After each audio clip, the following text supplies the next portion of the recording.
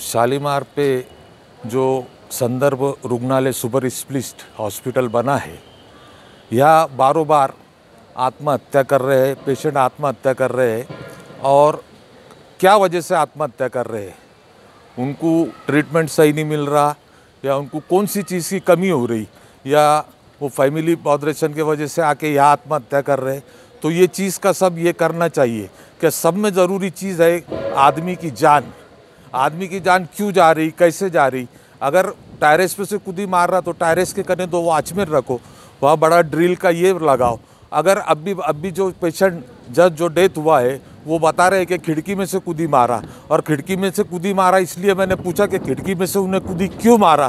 तो बोले, वो वहाँ जालिया नहीं है। तो वो जालिया लगाओ।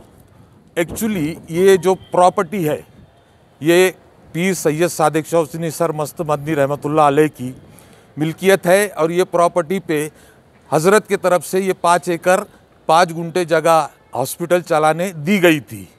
तो हज़रत का भी मिशन ये रहा कि किसी के जान मान की हानि हानि ना होना चाहिए।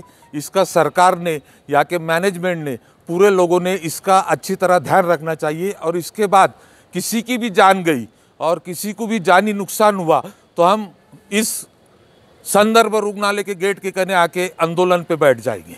आपका नाम? अलीम बहु पीरजादा समाज सेवक।